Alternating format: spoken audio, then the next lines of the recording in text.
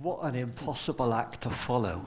Um, so, I'm, instead of jumping back the 50 years, we can only, I can only jump in at about, wait, after 25 years.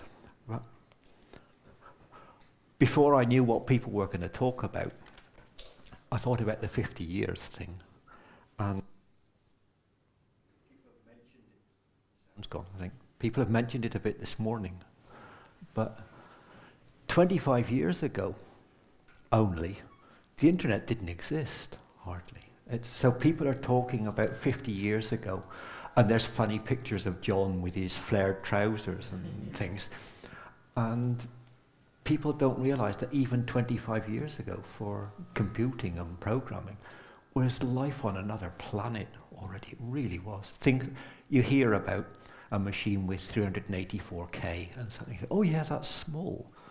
It's not small, it's totally unbelievable. This thing that is running the presentation and everything, it has, what is it, 64 gigabytes. It's, it's, um, it's beyond another planet. Think what you could have done with APL back then on, on one of these, running a, a worldwide time sharing service on one of these things. And it was when I was thinking about that that I started to think about um, just, well, K and Q, the languages I work with from KX. As Morten and Gitte have kindly invited me to turn here to, to give my version or, my, my side of the story. And I realized that there are lots of things that over the 25 years and over the 50 years that were very small decisions, like John deciding would he sell his house or not. small things that you could have decided something slightly different and it would have had a totally different effect. And even with, well, with APL and K and Q, APL made one, what looks like, uh, with hindsight, arbitrary decision and went galloping off that way. And we chose something different and went in another direction. And at the time that was small, but it had a knock-on effect, which had a knock-on effect, which had a knock-on effect, which meant that there's no way we could come back together again. And so people tend to look at the array languages as being a little dark corner under the stairs somewhere, when in fact it's already a wide palette of interesting, conflicting ways of doing things, not just conflicting with an APL, but with K and Q and J. There's a whole pile of things there. And like, well, Aaron's talk yesterday, just being able to compile things. It's, there's an enormously wide array of, of, of, of things people could be doing. And this, I saw just a few weeks ago, reminded me that our work is not finished yet. That notation is such a crock of shit. It really is. It's, it's useless. And we've been trying now. I mean, you've been trying 50 years, we've been trying 25 years. It's uh, just no hope for it.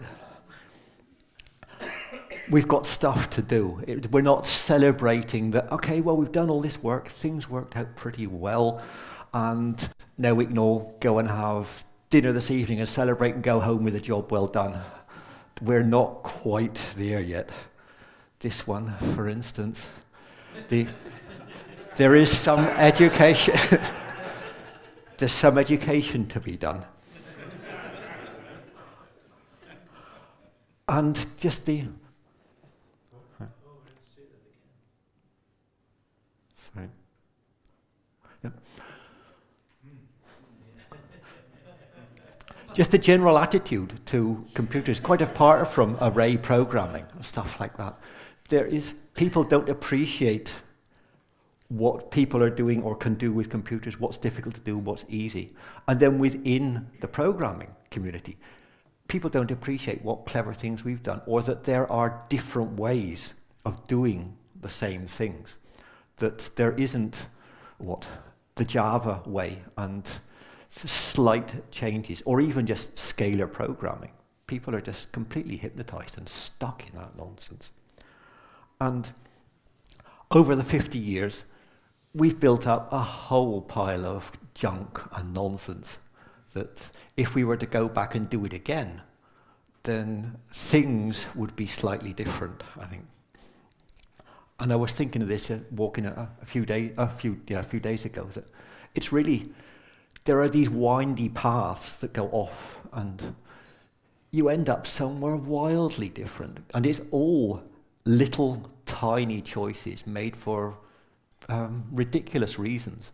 And so, what I wanted to talk about, because it's impossible to follow people like them, was some of these choices that we made that were different from the choices APL made and what consequences they had. And maybe it's interesting for you to realize that actually, yeah, within the APL world, it was possible to go differently. And some uh, we think would be better. Some we would mumble and change the topic and discuss the weather if we thought that we'd made the better choice or not. I leave it up to you to work out which. So, one good example is those who know K or have been following our Looney adventures know that there are lots of different versions. And the first one, Arthur pointed out when I was talking about this a week or so ago with him, that it stayed pretty standard, although we don't have the crazy character set.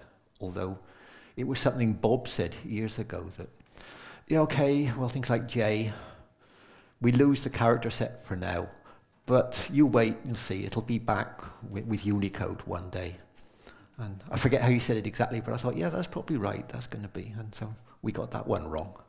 I think we can abandon all hope of that. So we are stuck with the loony character set on the US keyboard, which is a real problem for me because I use the Swiss keyboard. So some of the keys that are readily available that fall under your thumb don't. It's the right hand side Alt with Shift and then up to the, uh, the number line. Sorry. And this is, uh, this. Wait. You can read it now, it's there, but I, I wanted the the thing about the, the different versions. So the, the Arthur said that the only character we've changed, because we have so few of them, is the, well, the APL and symbol, the hat, which with the initial version of K, that was power, so exponent, because that was for the simple reason that our what, domain there was fixed income, where it made a lot of sense to have power as uh, one of the primitives, as we had so few primitives to go around and star was already taken. And then with K4, that's our current official version, then because that's more, well, it's a database and a programming language, and a dessert topping and a floor wax, um, it's uh, fill. And so either monadic fill, which just returns you a Boolean list of where there's a null, and I'll get to nulls a bit later, and Roger can run from the room. And Dyadic is the thing you replace the fills with, which is really valuable for databases, completely pointless for, um, for fixed income, say. And in our research version, well, pretty compared to other uses of it. Remember, these are very scarce symbols. We don't have any combinations like J. We are stuck with just what's on the American keyboard. And with our research version of K, so that's K6 this week, um, it's set difference. And so that, but that's the only one that moves around. And the other thing that's determined it over the years is performance, the same as we've all been hitting on things. It's just you have things you would do for aesthetic reasons, but then there's a whole pile of stuff that somebody is shouting and yelling, so you just have to go and fix it and you do appalling things to the internals because if you do it in the theologically correct version, so following the Gospel of Matthew or whatever, then uh, you, you will not cut these corners or you will not throw this memory away before you really can safely do it. But when someone is shouting for it to be faster, you just do it. So one of the first big changes I think that I noticed when I came to K years ago was that we don't do workspaces. And this is one of these things when, well, that sounds like that's not so big. That's sort of bookkeeping, that's bean counting. What's the issue there? But it's actually enormous. It had consequences over years for us because as we don't have workspaces, there aren't old saved copies of the code. Every time you start a new KDB Plus, a Q session, you load up ASCII scripts and you start from scratch again. There is no legacy workspaces of, of different sizes and all this stuff that you have to follow. So we bypass that. It means moving to another uh, even Endianness or another architecture or bigger machines, smaller machines, all these things. We don't care. It's just text files. And so that seems like a tiny choice, but that's one of these ones that had enormous consequences for us because every time uh, we talk with the Dyalog people, one of the things that we are appalled at is the legacy support you have to have, which is fantastic, of course. It's an enormous amount of work for the internals and as a convenience to the end users. But it must be an absolute nightmare to look after. Whereas we could just say, oh, remember that version of Plus? Mistake, it's gone. Sorry. and that's the end of it. The same with um, porting to uh, new applications. It's it's just text files. Because again, the same way as there's no saved state, there's no saved weird characters either. It was completely vanilla. It's just really simple. It allows our executable to be still something like 300k for the whole thing. Because we just throw things away continually, rigorously. Related to that, was just the whole GUI stuff. Because the early versions of K did have a GUI, and it was pretty nice for its time. It's just embarrassing now. I, I did find one or two pictures of it, and I thought, no, this, you can't talk about how you had a pretty neat GUI and show that thing on the screen as well. So, so I left that. But at the, the time when it was in its sort of demise, then it was still in the days of X Windows, which was, I mean, if you think Xorg is awful, then X Windows, Jesus Christ. Um, we had more bugs with the X Windows, with the GUI code, than we did for the whole rest of K and Windows and all the other platforms put together. Such a rubbish. And so Arthur's solution was just a typically Arthur one with um, KDB+. So GUIs, yeah, we don't do GUIs. We just don't have one. Our GUI is the command prompt. And so we had our version, our flavor of GUI that people just had to put up with.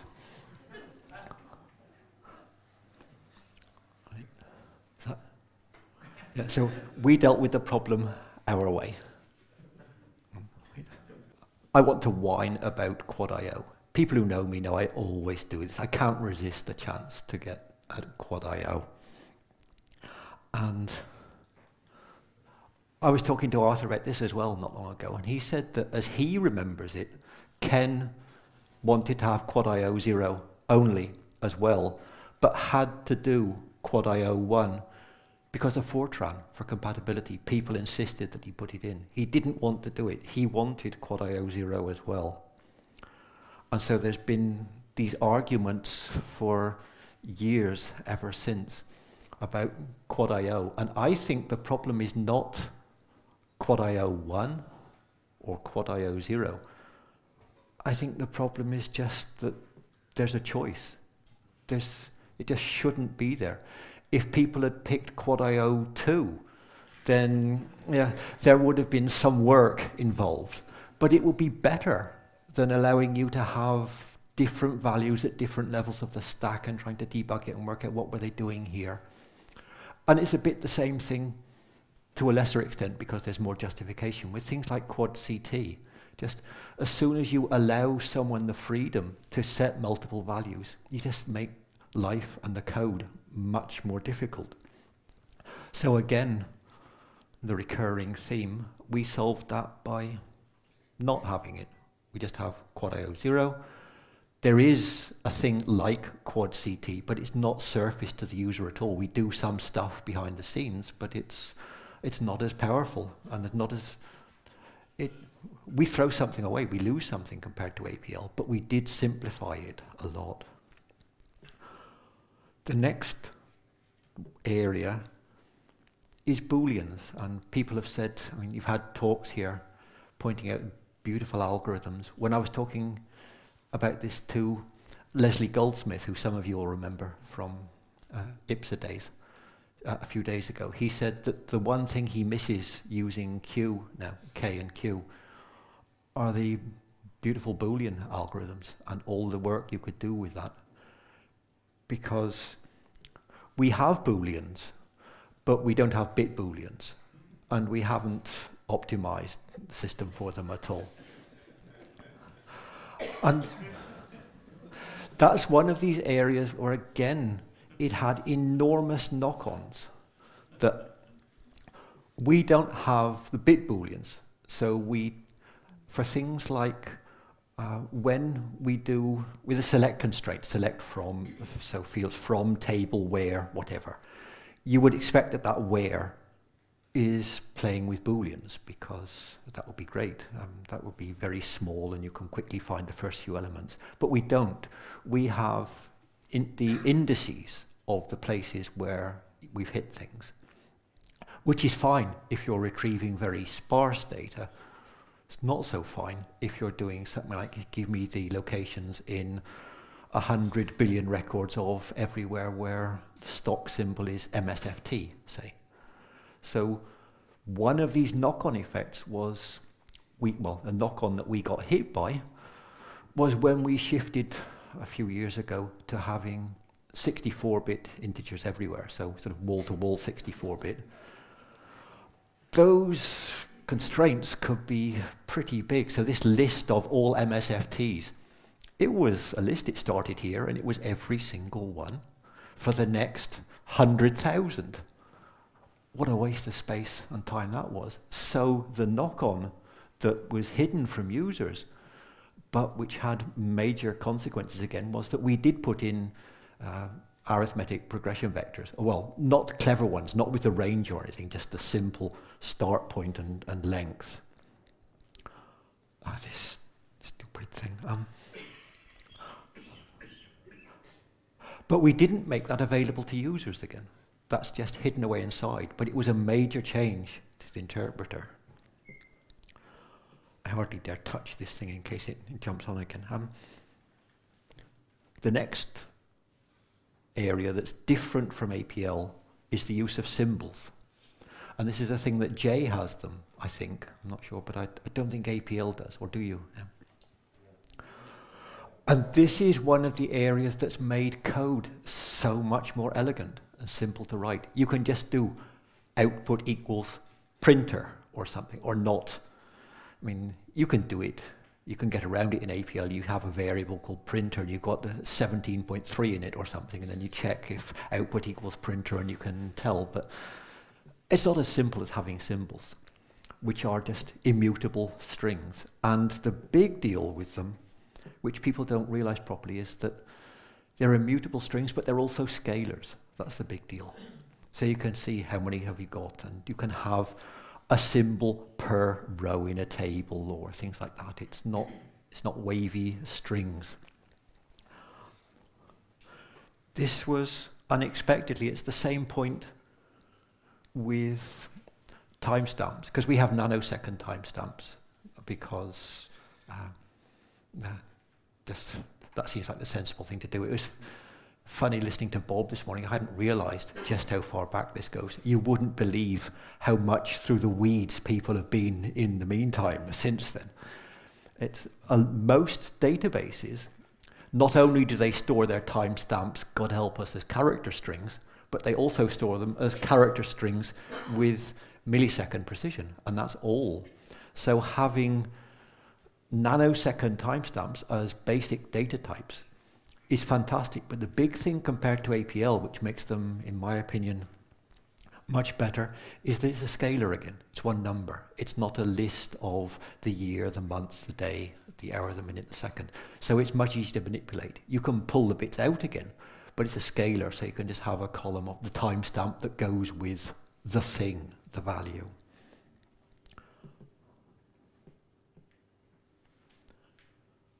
The next difference is dictionaries, which they started off, that was quite funny. That it was again part of the GUI. We had dictionaries because it was a very elegant way of being able to keep foreground color, background color, font, um, a few other attributes. So, what? Up to a dozen things. Unfortunately, people found dictionaries were just great and were stuffing hundreds of millions of things in them with all the performance problems that caused. And so we realized actually uh, dictionaries are neat. They're too good to be wasting on the GUI that we actually don't even have anymore anyway. So when we junked GUIs, we kept dictionaries.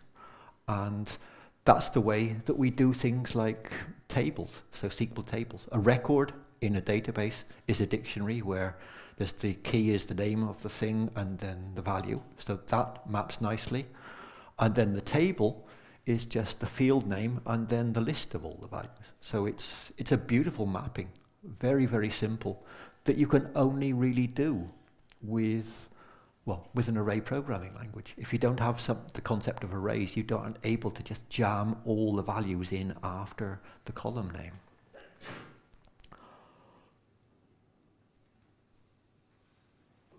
This is one for Roger because of databases, we had to do nulls. And um, while we were there, then we thought we might as well have infinities as well.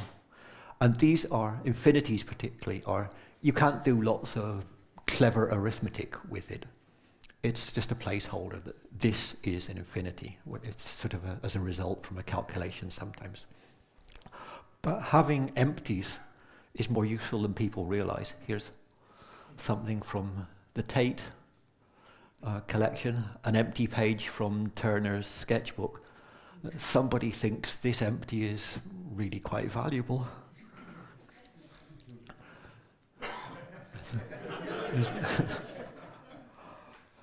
the trouble with finding pictures like this on the internet is you sometimes can't find the article that went with them. So I don't know what the imbecilic story is behind this. And and more importantly, if I can buy a copy. But, but the big benefit people don't realize of having nulls and, and infinities is that having nulls means that we don't stop as often as you do. If we have a divide by zero or things like that, then we can just stuff in an infinity. Or if some values, if an error happens, we can just stuff a null in there and so let's say 17 elements of a 100 billion element array have nulls stuck in there because the, the answer had no meaning. But we aren't stopping everything going. We're just saying, okay, some nonsense in here, but sorry, we're busy. We'll carry right on again. And that's been an enormous benefit for us as well. Just stuff goes wrong, well, for other reasons, basically.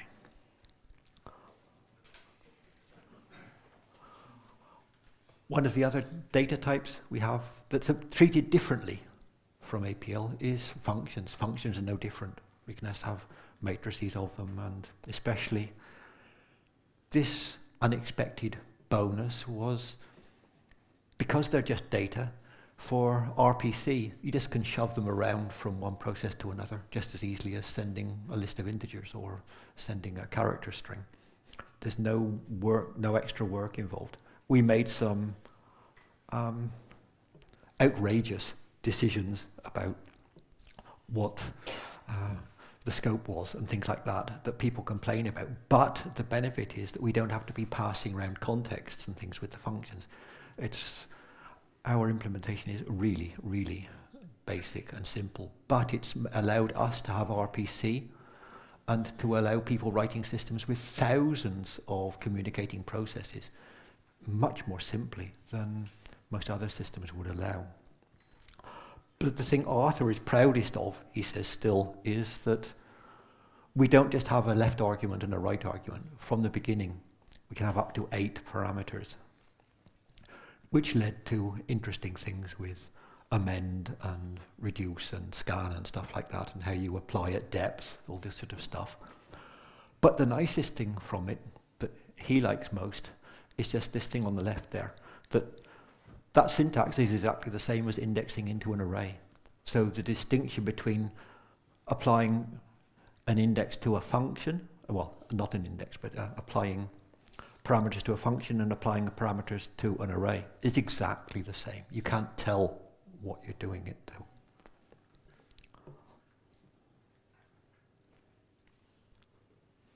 The other thing I mentioned earlier a bit was just about the code, the, that we don't have the weird symbols, although we've really hobbled ourselves with that by not allowing us to have so many symbols and having to do shuffling around. We didn't even go the route that J went of having digrams or trigrams. We just had to stick with the simple ones. But what that got us in earlier years, now it's not such a thing with um, Unicode, but that got us editors with color syntax. It got us diff programs that worked. It got us change control using the run-of-the-mill nonsense that whatever there was. We didn't have to have special solutions, which meant that we were able to integrate our code into a what an enterprisey area much more easily. Our speciality, but we could at least put it in the change control system.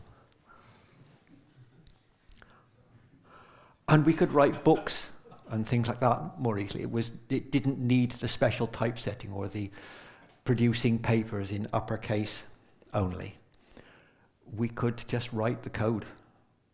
People couldn't read it easily afterwards necessarily, but uh, we could do it. Last point was that the main point, uh, the main thing, if you like, at the core of K and Q is we evaluate then parse trees, so bytecodes, of course, but we, it's, there's not, there is an equivalent of execute, but that's really a poor relation typically people strip things down to parse trees and evaluate the parse tree. And that's meant that it's much easier for us to write DSLs on top and to have um, much simpler security checking on what people are doing. It's, it's a much more elegant solution of pushing that stuff up towards the user. So now to finish, what I wanted was to say that th there is one thing to learn from this a bit.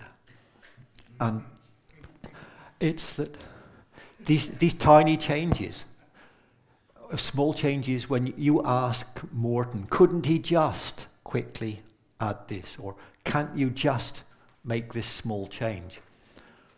These things are tiny changes, but they actually have enormous consequences that you can unwind again afterwards. So it's it's both at the pestering Morten level and even writing your own systems. All the time you spend up front because you have an elegant notation, something like APL or, or J or K or any of them. As it's a tool for thought, then you know, sort of, for God's sake, use it and think three times before programming once. And to, to avoid the messes you get into later. So that's, that's the sermon for the day. And um, that's it. I don't.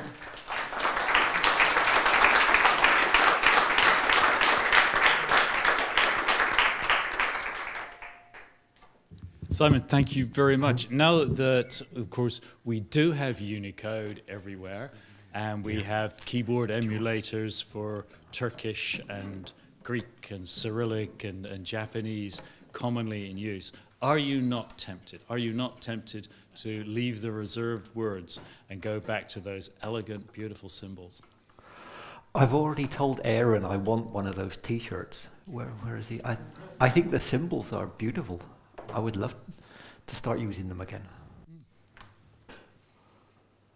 That was the thing that sold me on APL years ago at, at IP Sharp when I first saw it. I can't, I would love to be able to say I remembered the expression, but I can't.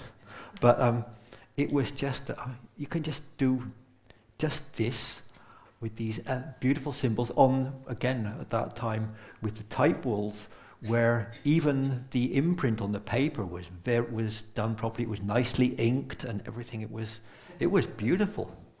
the fact that the AJ832s later would go spinning the symbols off around the room if you're printing fast is neither here nor there. But the early golf ball things, uh, they printed beautiful code. I had a friend in Germany who was pretty much deaf in one ear because he said he always insisted that was too many years of being too near the printer, uh, of the, the type ball printer.